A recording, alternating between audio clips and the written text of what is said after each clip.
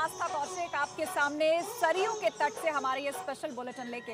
ये सरयू का किनारा है जहाँ पर शाम को भव्य आरती होती है, लेकिन देखिए दिन की शुरुआत यहाँ पर कैसी होती है। मैं आपको कुछ तस्वीरें अपने पीछे दिखा देती हूँ। ये देखिए, यहाँ पर अविरल सरयू की बहती हुई धारा है। अभी हाल ही में यहाँ पर ढाई लाख क्यूसेक पानी छोड़ा गया है, जिसके चलते जलस्तर और बढ़ गया है। और इसका जो प्रवाह है सरयू नदी का, ये और तेज हो गया है। और वही सरयू नदी जिसको यहाँ पर लोग माता के रूप में पूछ पूछते हैं, और एक मंदिर भी यहाँ पर बनाया गया है जहाँ पर सरयू माता को जगह दी गई है। वहाँ पर आरती होती है, आरती की तैयारी वहीं से की जाती है। घाटों पर देखिए आप जगह जगह शिवलिंग बनाए गए हैं, शिवलिंग और नंदी महाराज हैं।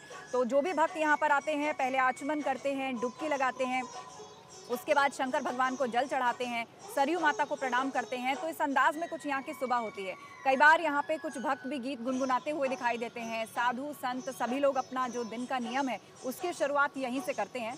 और मेरे ठीक पीछे अगर आप देख पाएँ कि दूर तक जहाँ आपकी नज़र जा रही है, सरयू ही सरयू नज़र आती है, तेज़ बहता हुआ पानी है और सरकार की जो योजना है सरयू के लिए, वो क्रूज चलाने की है। गंगा की तर्ज पर सरयू में भी क्रूज चलाया जाएगा। मतलब भविष्य में जो अयोध्या की तस्वीर है वो कैसी रहने वाली है, उसका एक अहम हिस्सा है कि सरयू में आने वाले समय में क्रूज चलेगा। हालाँकि अभी नावें चलती हैं, जो लोग यहाँ पर आते हैं, नावों में बैठ जाते हैं, दूर तक नज़ारे का आनंद लेते हैं।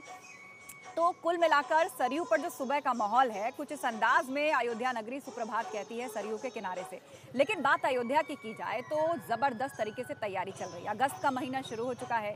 भोले शंकर का ये महीना है, सावन का जो है, सोमवार भी आने वाला है, अंतिम सोमवार जल्द ही। तो एक तरफ़ राम भक्ति में लोग डूबे हुए हैं तो कहीं कहीं शिवमय होते भी नज़र आते हैं। पाँच अगस्त की तारीख नज़दीक आ रही है। प्रधानमंत्री मोदी खुद यहाँ पर आने वाले हैं। भूमि पूजन करेंगे, शिलान्यास करेंगे। और सबसे बड़ी बात यह कि एसपीजी की टीम जो है, वो आज अयोध्या पहुँचने वाली है और सुरक्षा का पूरा जिम्मा अब एसपीजी की टीम संभाल लेगी।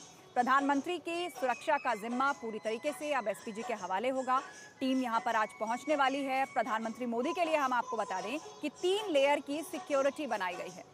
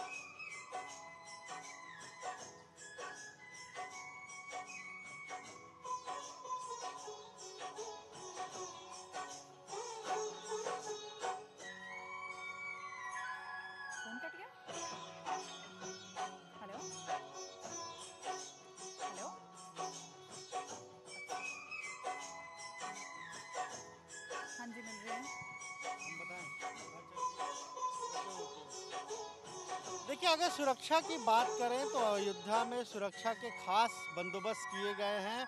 हम इस वक्त नया घाट चौराहे पे मौजूद हैं और हम आपको अगर तस्वीरें दिखाएँ तो देखिए, जो भी यहाँ पर पहले जिस किसी को भी अगर एंट्री तब मिल रही है जब उसका आईडी कार्ड देख लिया जा रहा है, उसके बाद ही उसे एंट्री शहर के भीतर दी जा रही है।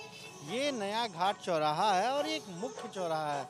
यानी जब आप कहीं से भी, चाहे लखनऊ से आएँगे, किसी और दूसरे ज़िले से आएँगे, हाईवे के रास्ते से आएँगे तो ये जो रास्ता है यहाँ ज़रूर, इसी से आपको अंदर होकर गुजरना पड़ेगा। हनुमानगढ़ी, रामलला, सब कुछ इसी तरफ़ है, इस रास्ते से ही। और यहाँ पर सुरक्षा के बंदोबस्त आप देखिए, हर तरफ़, यानी पूरे रास्ते को बैरिकेटिंग की गई है। केवल एक रास्ता खोला गया है। यानी कि ये सिंगल रोड बना दिया गया है यहाँ पर एक रास्ता खोला गया है उसी से लोग आते हैं जाते हैं और इस वक्त सुरक्षा इंतज़ाम ये है कि किसी को भी बिना आईडी कार्ड के यहाँ एंट्री नहीं दी जा रही है। एसपीजी की बात अगर हम करें तो एसपीजी की आ, कुछ जो आ, वो सिक्योरिटी पर्सनल्स हैं वो कल पहुँचे हैं अयोध्या पहुँचे हैं और वो फ़िलहाल एक उन्हें होटल में रोका गया है। लेकिन जो अफसर हैं वो आज कुछ आएँगे और कुछ दो तारीख को आएँगे। उसके बाद जो लोकल पुलिस है, उनके साथ एक बैठक होनी है और फिर ये तय होना है कि किस तरीके से अयोध्या में सुरक्षा के इंतज़ाम रहेंगे। क्योंकि प्राइम मिनिस्टर की सिक्योरिटी देखिए, अगर हम बात करें तो थ्री लेयर सिक्योरिटी है, एसपीजी कवर है तो उनके अपने प्रोटोकॉल होते हैं।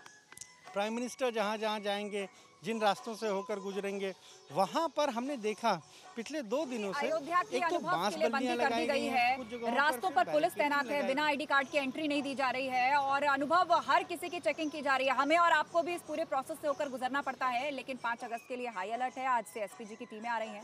आप बने रहिए हमारे साथ आगे भी हम आपसे अपडेट लेंगे लेकिन फ़िलहाल लखनऊ का हम रुख करते हैं। वहाँ से शैलेश अरोड़ा जुड़ गए हैं हमारे साथ। शैलेश वीकेंड लॉकडाउन की शुरुआत हो गई है। अयोध्या में भी उसका असर देखा जा रहा है। आज जब हम आ रहे थे सरयू घाट पर तो जो चहल पहल थी, वो कहीं गायब थी। मार्केट्स आज बंद हैं, सड़कें सूनी नज़र आ रही हैं। तो लखनऊ की बात करें तो वहाँ आप कैसे वीकेंड लॉकडाउन का असर देख रहे हैं? और सबसे अहम बात ये कि अब वरिष्ठ अधिकारियों के सुरक्षा एजेंसियों के दौरे शुरू हो गए हैं। तो क्या आज भी कोई लखनऊ से अयोध्या आने वाला है?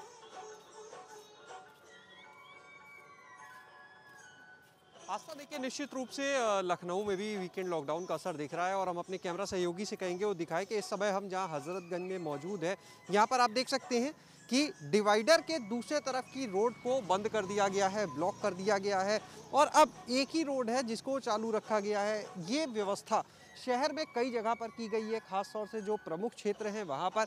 इसके अलावा जो आवश्यक सेवाओं से जुड़े लोग हैं, सिर्फ़ उनको बाहर आने की अनुमति है, बाकी किसी को भी बाहर आने की अनुमति नहीं दी गई है। सिर्फ़ राखी की और मिठाई की जो दुकानें हैं, उनको छूट दी गई है, क्योंकि सोमवार को रक्षाबंधन का त्यौहार है।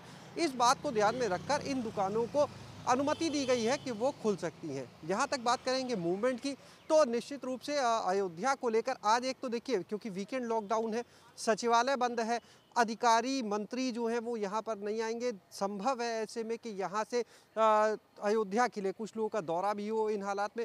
और लगातार, क्योंकि अब तो अयोध्या में आयोजन का समय बिल्कुल करीब आ गया है। कल दो तारीख को मुख्यमंत्री का दौरा पहले से प्रस्तावित है। अयोध्या का इससे पहले संभव है कि आज भी किसी मंत्री का वहाँ पर अचानक दौरा बने। फ़िलहाल कोई तय शेड्यूल ऐसा नहीं अभी दिया गया है लेकिन लगातार जो शासन के वरिष्ठ अधिकारी हैं वो जी हाँ शैलेश बिल्कुल तैयारी ज़बरदस्त है और लखनऊ में भी आप बता रहे हैं किस तरह वीकेंड लॉकडाउन की शुरुआत हो चुकी है और लगातार अयोध्या में भी दौरे जो हैं, वो शुरू हो गए हैं। सुरक्षा एजेंसियाँ, बड़े अधिकारियों के भी पहुँचने का सिलसिला लगातार जारी है। अनुभव और शैलेश, आप दोनों हमारे साथ जुड़े रहिए। इस पूरी खबर पर हम अपडेट आपसे लेंगे, लेकिन अपने दर्शकों को हम बता दें कि जिस सरयू के तट पर मैं इस वक्त मौजूद हूँ, वहाँ पर भक्ति का एक अलग ही रंग देखने को मिलता है। यहाँ कोई भी भक्त कभी भी राम भजन गुनगुनाता हुआ नज़र आ जाता है। तो आइए आपको सुनाते हैं कुछ ऐसे ही भक्ति से सराबोर सुरीला संगीत।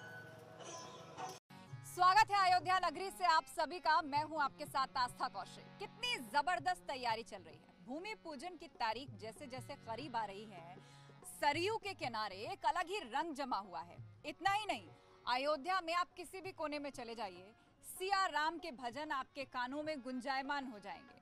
और आज हमारे साथ खास तौर पर भोजपुरी गायक अवनीश पांडे जी हैं। उनका पूरा ग्रुप है। तो आज हमें ये बताएँगे भजन के माध्यम से कि अवध में किस तरह का रंग चढ़ा है। वैसे तो भूमि पूजन के लिए पूरा देश ही उत्साहित है, लेकिन अवध में क्या खास तैयारियाँ चल रही हैं? तो उसके लिए गीतों के बोल से परफेक्ट क्या हो सकता है कि आप तक भावनाएँ पहुँचे और कुछ इस बहाने राम भजन हो जाए, सावन का महीना चल रहा है, भोले शंकर को याद किया जाए। इसके अलावा हनुमान जी हैं, श्री राम से जुड़े हुए बहुत संदर्भ हमें मिलते हैं। तो भजनों से अच्छा उनको याद करने का, सुनने का इस मौके से बेहतर और क्या हो सकता है, अवनीश जी? बिल्कुल। आइए चलते हैं हम आपको श्री राम जी के एक पावन से भजन को सुनाते हैं। कना है, सजा दो अवधि को गुलशन सा, सजा दो अवधि को गुलशन सा, मेरे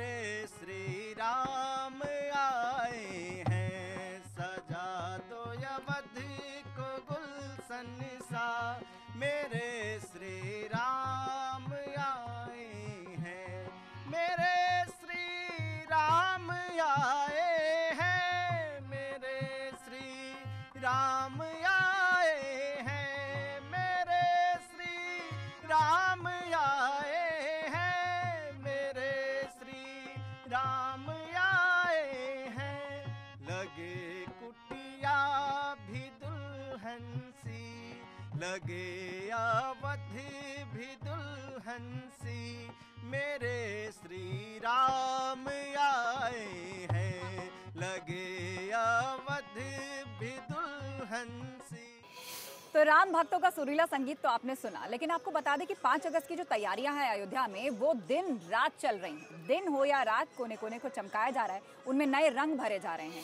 बात अगर राम की पैड़ी पर करें तो वहाँ पर इतनी खूबसूरत लाइटिंग की गई है कि गंगा महल जो है, शाम सात बजे के बाद एक अलग ही रंग में चमचमाता हुआ नज़र आता है। जो भी लोग यहाँ पर पहुँचते हैं, खुद को फोटोग्राफी करने से रोक नहीं पाते। और ये खूबसूरत लाइटिंग और ये खूबसूरत नज़ारा देखकर, इस मनमोहक दृश्य को लोग हमेशा हमेशा के लिए अपने कैमरों में कैद करके यहाँ से जाना चाहते हैं। हमारे संवाददाता अनुभव शुक्ला हमारे साथ लगातार जुड़े हुए हैं। अनुभव दिन रात काम चल रहा है चमकाने का। सुरक्षा के लिहाज से भी पुलिस पूरी तरह से चौकस है। तो ऐसे में रास्तों में, रूट्स में लोगों को दिक्कत ना हो तो रात में किस तरह सिक्योरिटी अरेंजमेंट्स रहते हैं? क्या लोगों के लिए रास्ता खोला जाता है? वीकेंड लॉकडाउन है तो किस तरह का अरेंजमेंट फ़िलहाल आप देख पा रहे हैं?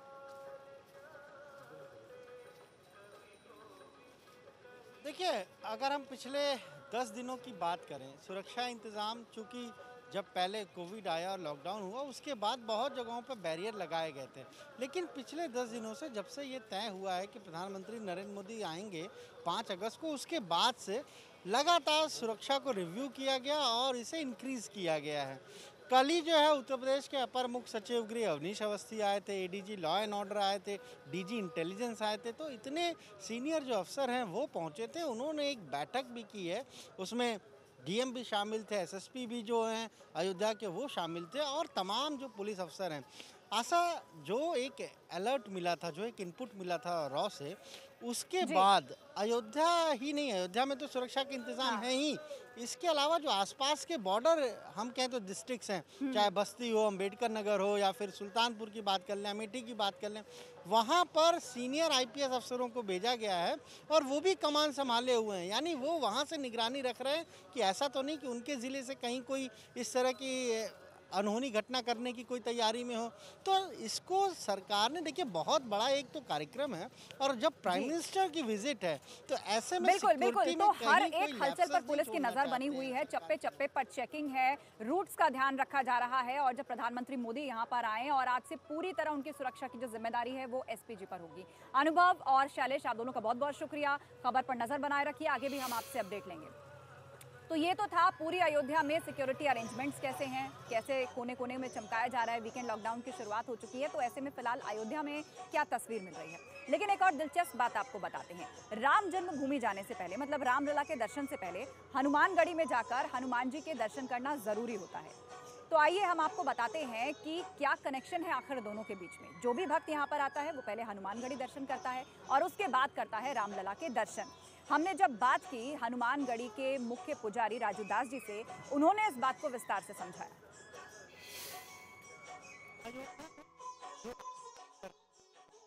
वो पहले हनुमानगढ़ी आता हनुमान जी के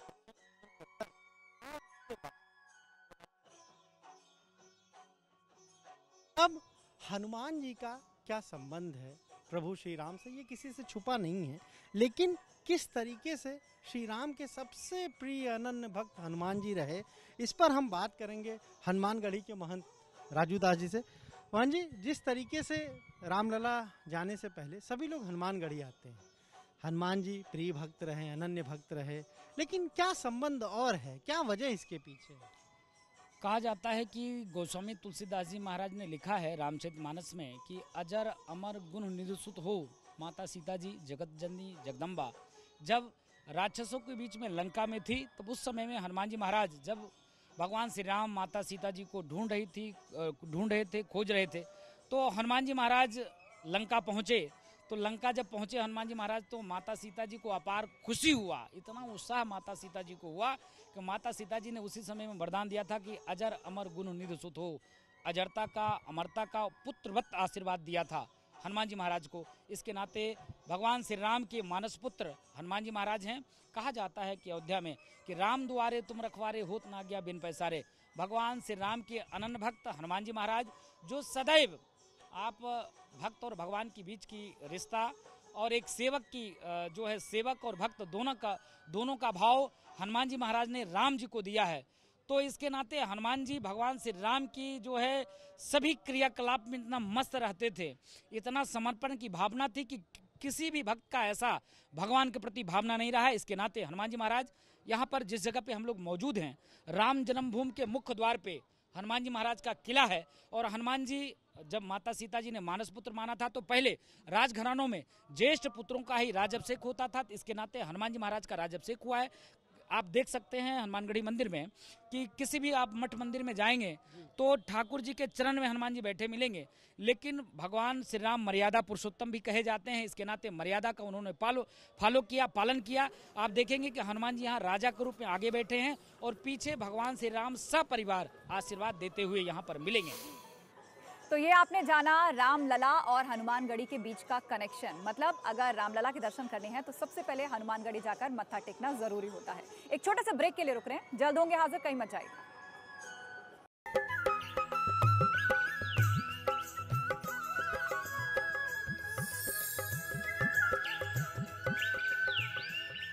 ब्रेक के बाद, जब से राम मंदिर निर्माण के लिए भूमि पूजन की तारीख का ऐलान हुआ है, राम भक्तों ने तो मान लीजिए दान के खजाने खोल दिए हैं।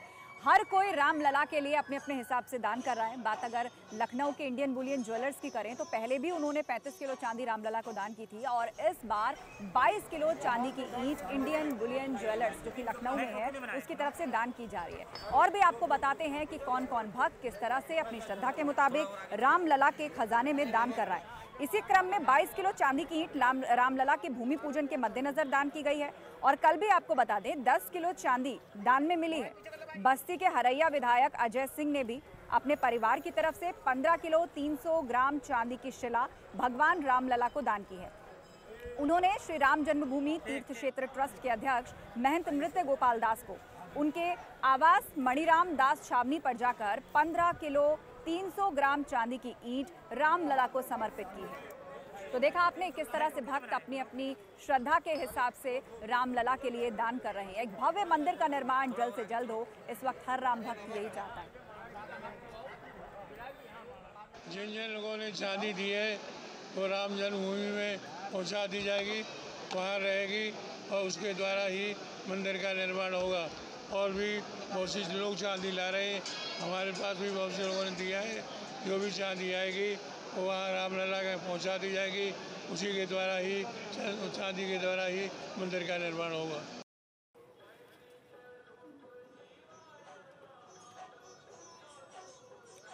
तो आपको बता दें किस तरह से जो भक्त हैं अपनी अपनी श्रद्धा के मुताबिक दान कर रहे हैं। लेकिन दूसरी तरफ़, जब पाँच अगस्त की तारीख आएगी, भूमि पूजन हो जाएगा तो राम भक्तों को प्रसाद के रूप में क्या बांटेगा? इसके लिए तीर्थ जो है, तीर्थ ट्रस्ट एक लाख लड्डू तैयार करवा रहा है।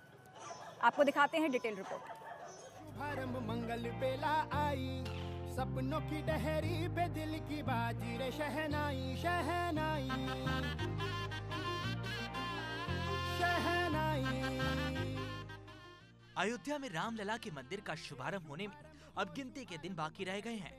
बरसों बाद आई इस मंगल वेला की वजह से अवधपुरी में उत्सव का माहौल है। इस उत्सव के अवसर पर इन दिनों अयोध्या में लड्डू बनाने का काम तेज हो गया है।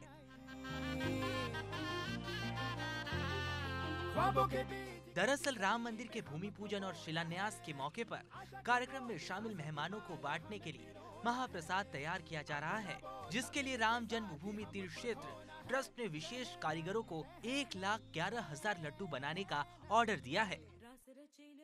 ये आज चार रोज हो गया बनते हुए एक लाख ग्यारह हज़ार लड्डू बन रहा है यहाँ भोग के लिए भोग और वितरण के लिए। भोग कैसे लगेगा? भोग अध्यक्ष मान नृत्य गोपाल दास जी महाराज जी और माननीय प्रधानमंत्री जी मिलकर लगाएँगे। इन्हीं लड्डुओं का भोग लगेगा? इन्हीं जी इन्हीं लड्डुओं का भोग लगेगा। हाँ वो थाल में सज के जाएगा। ऐसे डब्बा में नहीं जाएगा वो। वो थाल में सजा के जाएगा। इस महाप्रसाद को बनाने के लिए मिर्जापुर के विंध्याचल से विशेष कारीगरों को अयोध्या बुलाया गया है। बेसन के इन लड्डुओं को बनाने के लिए गाय के शुद्ध देसी घी का इस्तेमाल किया जा रहा है और कारीगर दिन रात लड्डू बनाने के काम में जुटे हुए हैं, ताकि समय पर एक लाख ग्यारह हज़ार लड्डुओं का लक्ष्य पूरा किया जा सके। ये अयोध्या में जितने मठ मंदिर है, सभी स्थानों पर ये झोला में भर के जाएगा। सभी सामग्री है पुस्तक है और प्रसाद का डब्बा रहेगा। और बाकी जितने भक्तजन हैं सिक्योरिटी वगैरह के लोग आएँगे सारे लोगों को एक एक झोला दिया जाएगा। झोला में प्रसाद का लड्डू का डब्बा रहेगा एक और उसमें अयोध्या पर भगवान बाबा जी एक पुस्तक लिखे हैं जो है। एक है बड़े बाबा देवराहा जी देवराहा बाबा जी महाराज भविष्यवाणी जो किए थे उन्नीस सौ नब्बे में कि भगवान राम का मंदिर यहीं बनेगा सभी के सहमति से बनेगा कानून के द्वारा बनेगा। वो पुस्तक है वाणी की। पाँच अगस्त को प्रधानमंत्री नरेंद्र मोदी विधि विधान से वैदिक विद्वानों के साथ पूजा अर्चना करके राम मंदिर की आधारशिला रखेंगे। जिसके बाद मंदिर के भूमि पूजन का प्रसाद अयोध्या से देश भर के तमाम हिस्सों में भेजा जाएगा। सिर्फ़ काशी, मथुरा ही नहीं, बल्कि चारों धामों के अलावा हर धर्म स्थल पर प्रभु राम का महाप्रसाद भेजा जाएगा। लोगों को जो प्रसाद बांटा जाएगा, वो एक झोले में होगा, जिसमें एक पुस्तक भी होगी। देखिए, ये लड्डू जो तैयार हो रहा है, भगवान रामलला को भोग लगने के लिए और अयोध्या में चूँकि भगवान रामलला के जन्मभूमि पर भव्य मंदिर निर्माण का मार्ग प्रशस्त होने जा रहा है और यहाँ पर पाँच अगस्त को जो भूमि पूजन होगा, उसमें जो लोग यहाँ पर अतिथि गण उपस्थित होंगे, उसके साथ साथ जो यहाँ के मठ मंदिर हैं, ऐसे सात हज़ार मठ मंदिर हैं, जिसमें भगवान राम विराजमान होते हैं माता जानकी के साथ। तो उन सब के मठ मंदिरों में परम पूज्य हंस देवराहा बाबा के माध्यम से ये प्रसाद जो है उन तक पहुँचने वाला है स्टील के बर्तनों में, स्टील के एक डिब्बे में, पैक होकर कोई 20 लड्डू का कोई पैकिंग है, कोई 11 लड्डू का पैकिंग, कोई पाँच लड्डू का। तो इस प्रकार से पैक करके इनको वितरित करने की ज़िम्मेदारी ली है यहाँ पर लोगों ने और ये मणि रामदास जी की छावनी में महंत नृत्य गोपाल दास जी महाराज के सानिध्य में तैयार हो रहा है और पूज्य हंस देवराहा बाबा इस प्रसाद देवराहा हंस बाबा जो है वो इस, इसकी पूरी योजना रचना उन्हीं के हाथों में है। उनके शिष्य गण यहाँ पर उपस्थित है, उनके देखरेख में ये बनाया जा रहा है। हालाँकि कोरोना संक्रमण की वजह से भूमि पूजन कार्यक्रम में 500 लोग ही शामिल होंगे, लेकिन ट्रस्ट इस अवसर पर एक लाख से ज़्यादा लड्डू बनवा रहा है। ताकि रामलला के ज़्यादा से ज़्यादा भक्तों तक भगवान का प्रसाद पहुँच सके। अयोध्या से ब्यूरो रिपोर्ट, एबीपी गंगा। तो ज़बरदस्त तरीके से तैयारी चल रही है महाप्रसाद को तैयार कराने की और जिस दिन भूमि पूजन हो जाएगा, भक्त यहाँ से खाली हाथ नहीं जाएँगे। राम जन्मभूमि पर तो आएँगे ही, दर्शन तो मिलेंगे ही और उसके साथ साथ मिलेगा महाप्रसाद, जो ना सिर्फ़ यहाँ भक्तों को, बल्कि साथ ही साथ उन तमाम बड़े मठों को, मंदिरों को भेजा जाएगा। देश भर के तीर्थ स्थलों पर भी यहाँ से प्रसाद भेजा जाएगा। तो इस खास पेशकश में फ़िलहाल इतना ही, लेकिन कहीं मत जाइएगा, क्योंकि सुबह ठीक 11 बजे अयोध्या से सतरंगी रिपोर्ट लेकर मैं एक बार फिर से आपके सामने आऊँगी। लेकिन अब वक्त हो गया है पहाड़ से जुड़ी खबरें जानने का। सीधे आपको स्टूडियो लिए चलते हैं। पहाड़ प्रभात के लिए सहयोगी कौशल सेठ के पास।